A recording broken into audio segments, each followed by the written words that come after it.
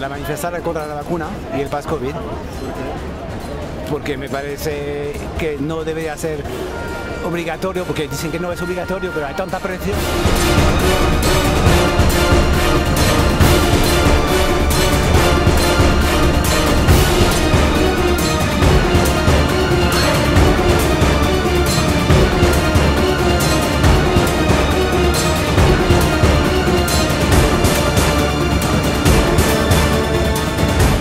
Acho, eu acho que é justo cancelar carnaval, é, cancelar o Réveillon, por causa que depois que passa tudo isso, aí fica só a doença, entende? Aí fica complicado para o Brasil, né?